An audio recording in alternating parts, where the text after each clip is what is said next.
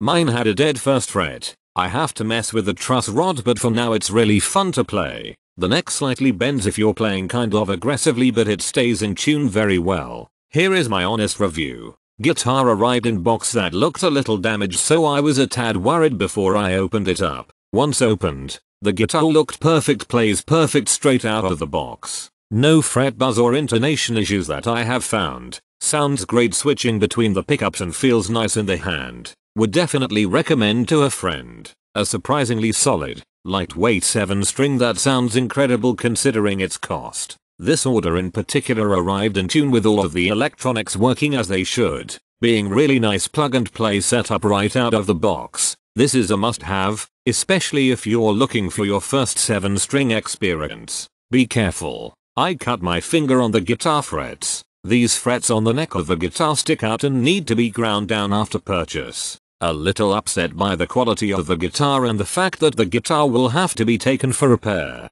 Surprisingly well finished for the price. Neck is smooth, even, straight and well finished. Fretwork is pretty good. Paint job is flawless I needed to dress a couple of high frets and give the truss rod one stroke 8 of a turn to get the action down to 2mm at the 12th fret. I strung it with D'Addario 1059 nickel wounds. The pickups have pretty decent output. Tuners are cheap but seem to hold tune well once you've restrung it and stretched the strings properly. This is my first foray into 7 string guitar, and I'm totally happy with my purchase. Excellent quality for what I paid for it.